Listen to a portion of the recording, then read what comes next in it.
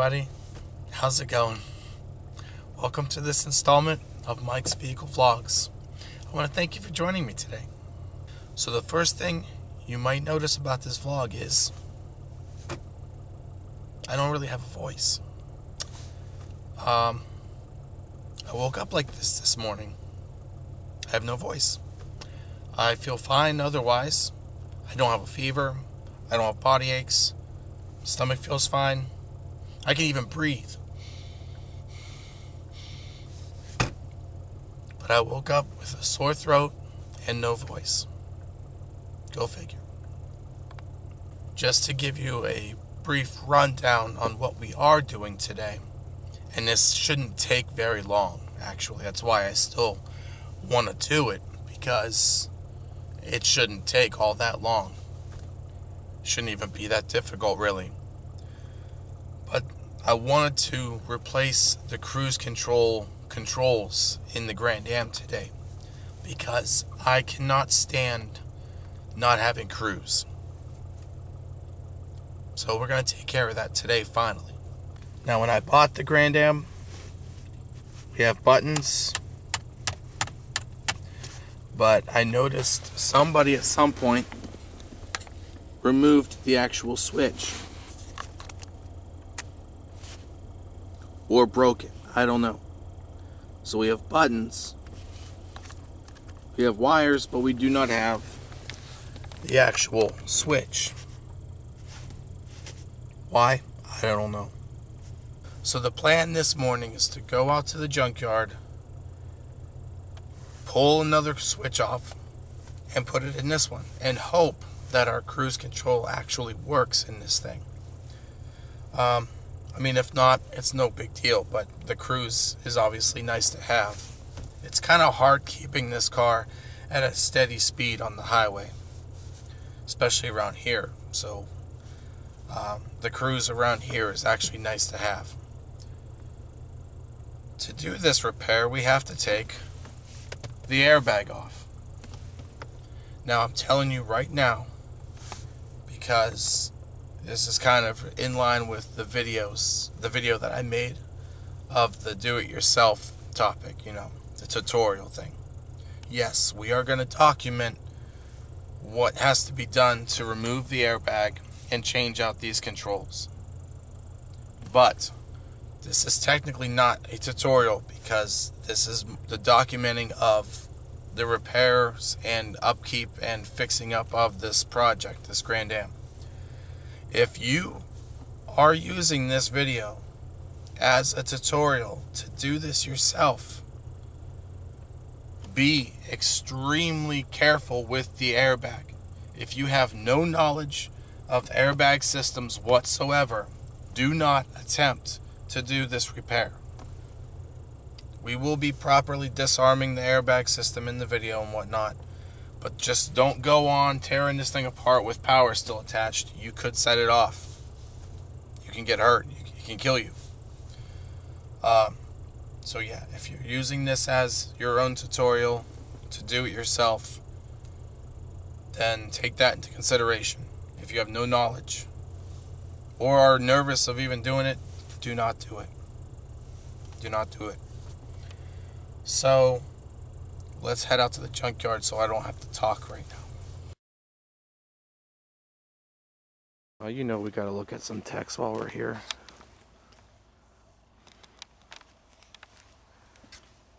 May have already documented this one, I don't know. I still really miss mine. If you guys watched the one recent vlog, I talk about possibility of getting another one soon. Not soon, soon, but in the future. This is an 05. Looks pretty basic. Manuals with it.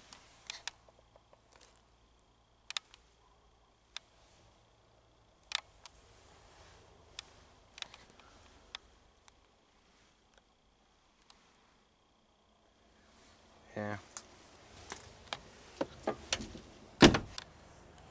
Here's another one.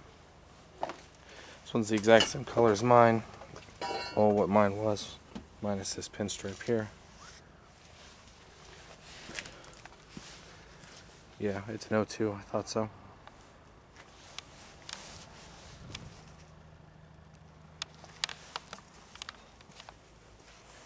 Here's broke. Ew. That's not good. See there.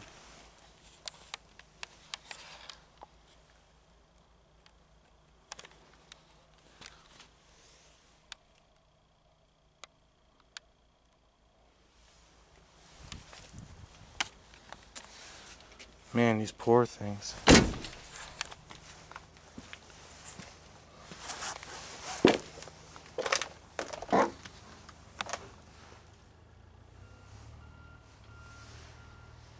PCM's gone.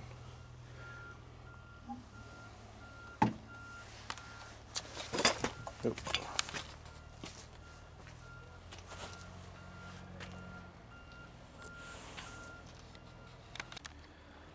Here's an 01. This one probably was documented before, but I think it was locked. But somebody got it open. Because I see the windows busted out over there on the other side. See?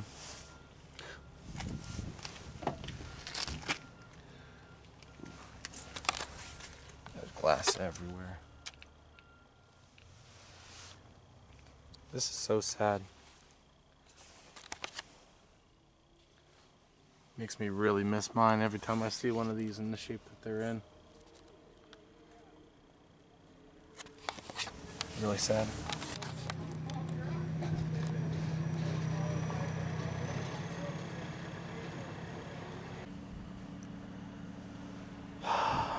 wow.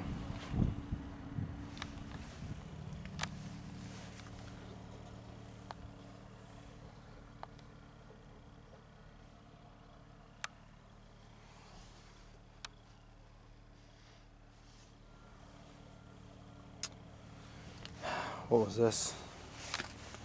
02.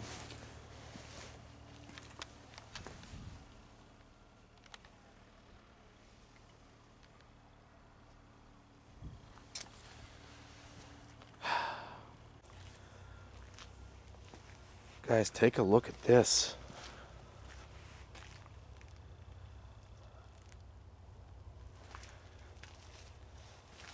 It's a Grand Am GT. 93. Wow.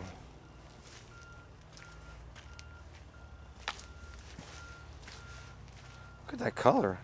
It really doesn't look like it was in that bad a shape.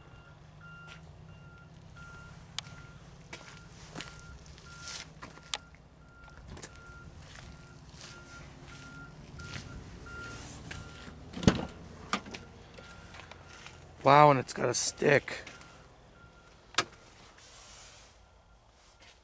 Oh man. This looks a lot like the one my aunt had, her first Grand Am ever. It was also a 93, but it was an SE. But a lot of it looks the same. Not the stick though. That's wow. 160,000 miles on it.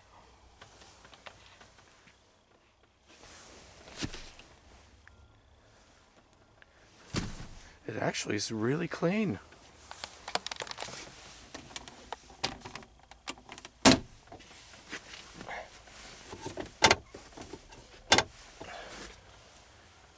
Wow.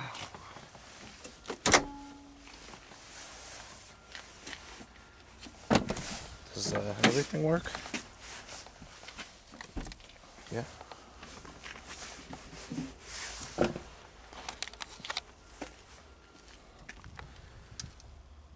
Got water, ice, technically. It's got ice in the trunk.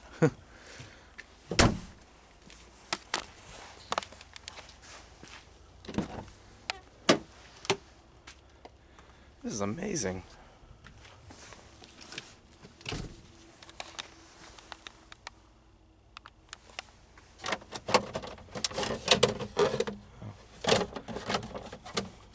These are cup holders. No manual. I have a 93 Grand Am manual, so it doesn't really matter to me, but. Wow. I like this color. And the red. That's really cool. It says it's got the four cylinder in it. High output 16 valve 4.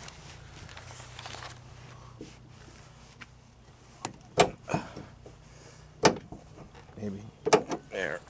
Heavy hood. Wow, it's clean under here too. Looks like nobody really picked at anything on this one yet. The quad 4. Unbelievable.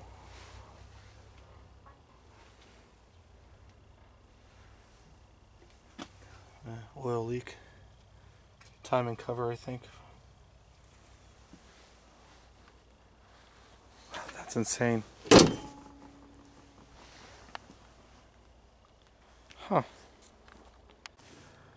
All of the Grand Ams that I find with leather, they're all torn up.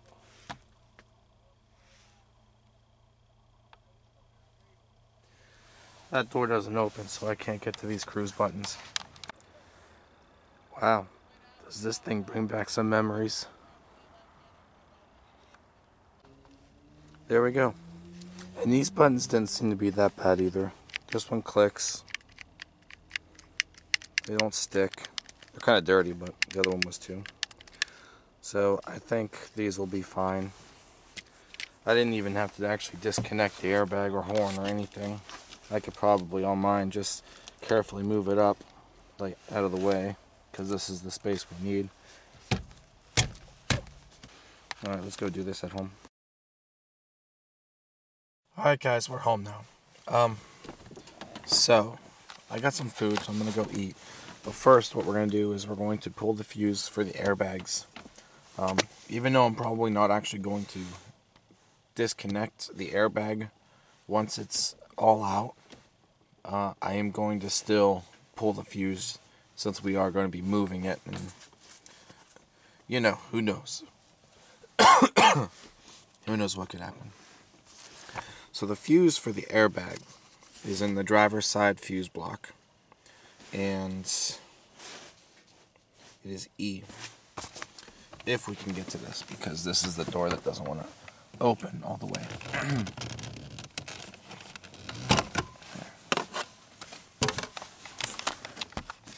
well, that's gonna be fun.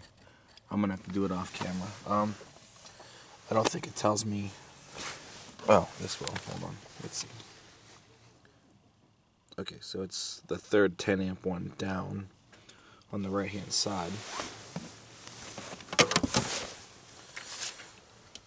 and there's probably no fuse puller in there. No, so I'm gonna have to get a fuse puller. Alright guys, game time. So, um, the overall process of this, as you kind of seen when we were still at the junkyard, really isn't that um, complicated. Um, it's it's actually even easier if you have the correct tools. So the T30 is the size of the screws on the back side of the airbag hub. Um, so the first thing that we need to do is take the top of the column shroud off. I hate these things because sometimes you never know if you're going to be able to get them back on right. I think, uh, yeah, so it's got some grooves down there. You probably could actually lower the steering wheel down. I don't have a lever, so I gotta find the, there it is. There we go. that might make it a little easier. Um, and, uh, what I have to do now is remove the bezel around the gauge cluster. Um, if you have the correct size T30 for like a, a ratchet and uh, you know just long enough to go into the backside of the steering wheel, you probably don't have to remove this. But because of this being so long and this piece coming out, I had to remove it. So to do that, you need your Phillips screwdriver. I gotta change bits here. Hold on one second. Okay, so you need your Phillips screwdriver. There is uh, one screw there above the tach. It looks like it's been maybe taken off before from the looks of the screw. Yeah. So there's one there. There's one above the speedometer. And then down inside the column area there, there's two hex heads that we need to... Oh, there's one hex head. there should be two. That one's gone. So yeah, somebody's been back here. Probably when they did the ignition, whoever did the ignition switch before I bought the car. Um, so yeah, there should there's a one there, and then there should be another one here, but it's gone. If I had known that, I would have just taken the one from the other car. Okay, so the screws at the bottom are sevens. In my case, one screw. This is seven. You try to wiggle it out of here somehow.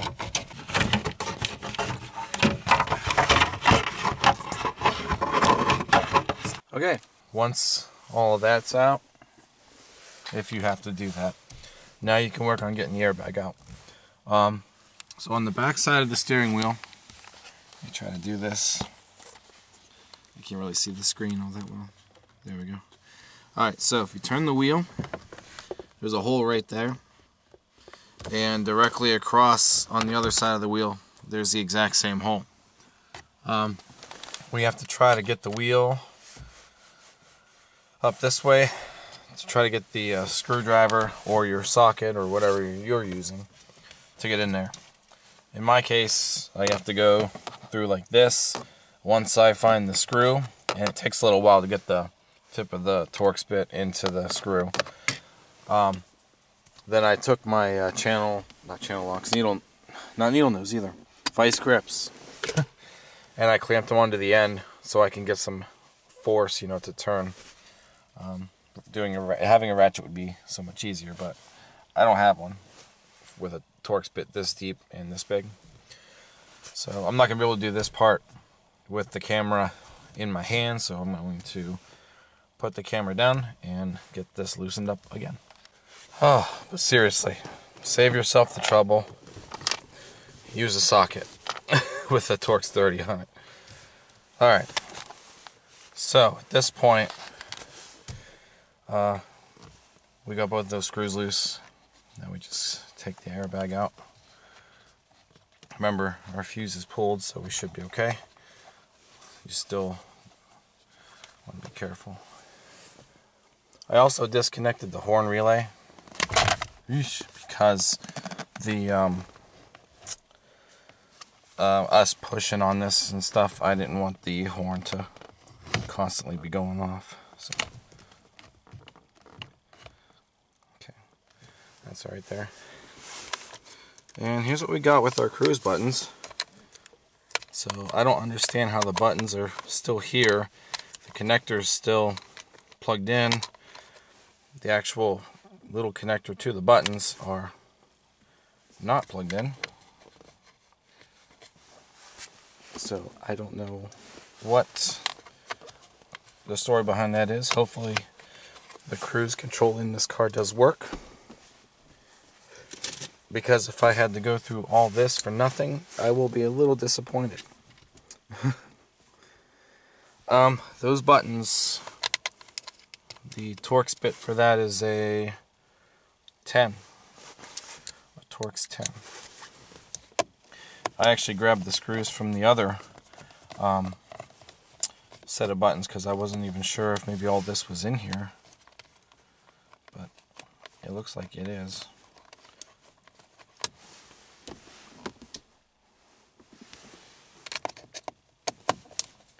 So just these two buttons here.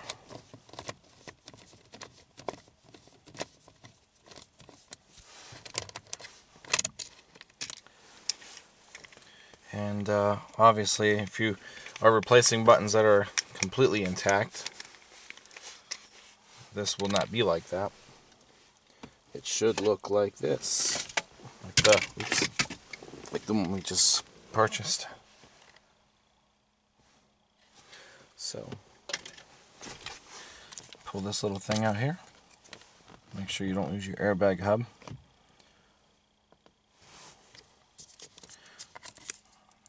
this thing out.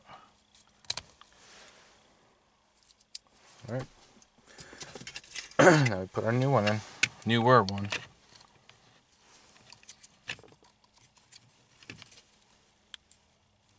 Push that in. Push that little thing in there. The back of the steering wheel wants to move. I'm gonna need two hands.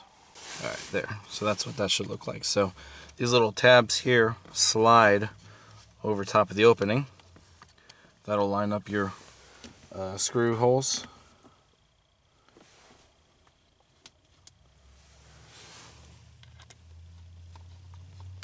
And then from there we can start driving these in. Once I locate the other one in the mess that I have on the seat beside me.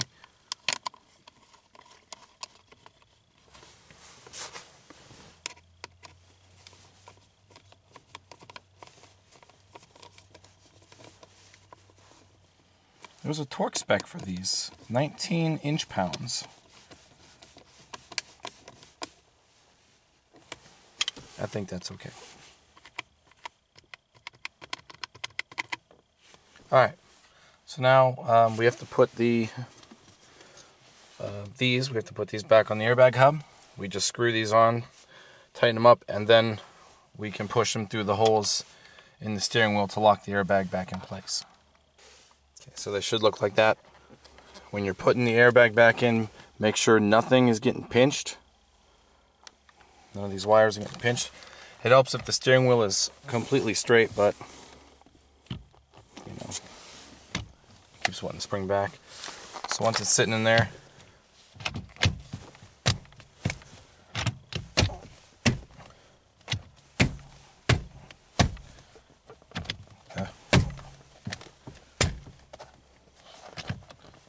Uh, it's not working. The one side keeps locking in. Oh, is it locked? I think it's locked now. Oh. There we go. Hence another reason why I unplugged the horn. Okay, there. That's better. So it's in.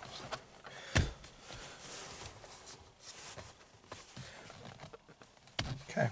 And now uh, we can put everything else together and see if this thing's gonna work out okay. Alright, amazingly enough, it looks like we didn't even really do anything, so I even got this to miraculously get locked back into place. So here's our new buttons. Uh, like I said, this is seems to be in good shape now, now that we pounded it in there. So now we get to plug the fuse in for the airbag. Here's our 10 amp fuse for the airbag. Remember, it's the third. It was the third one down on the right hand side out of all the red ones. Total of four red ones together. It was the third one. Trying to get out of the car.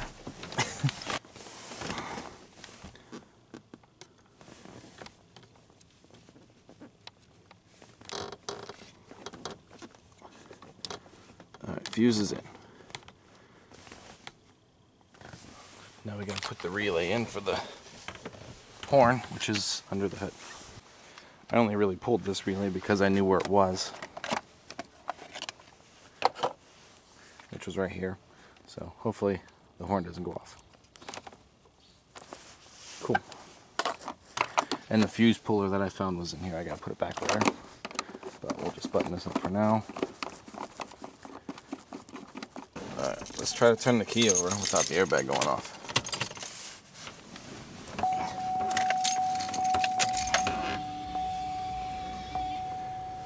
Okay, airbag light.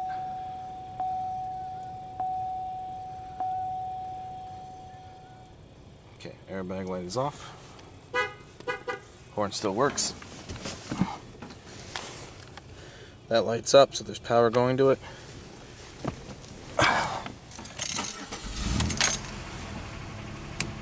Alright, let's go. Alright, so before we do the highway thing, I'm going to try it here in town. Uh, you know, anything over 25, the cruise should be able to be used. So I'll do like, I don't know, 27. I've already got the button turned on. Let's hit set.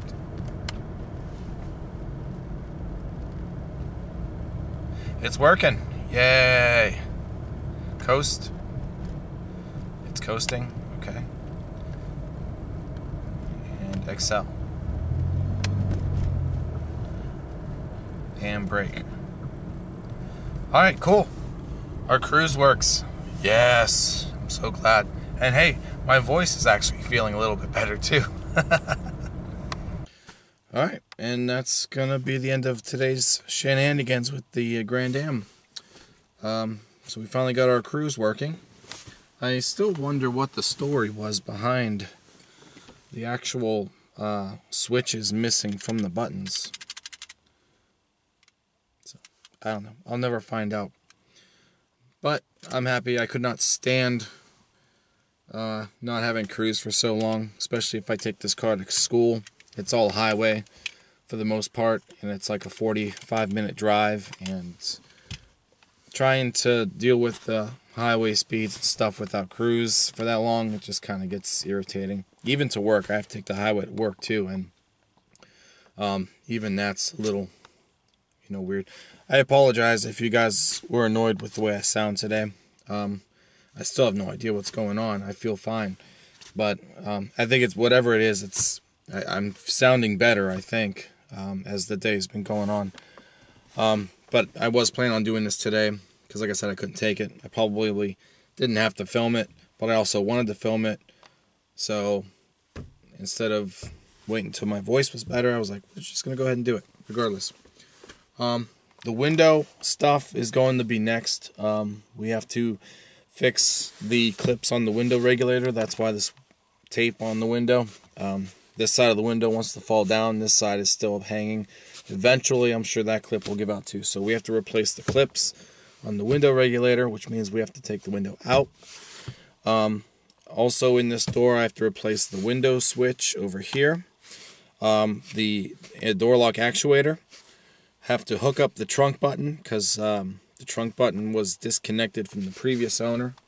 And while we're at it, we have to take this door apart to find out why our speaker is not working in that door. So we're just going to have a whole video related to taking the door apart and fixing the things inside them.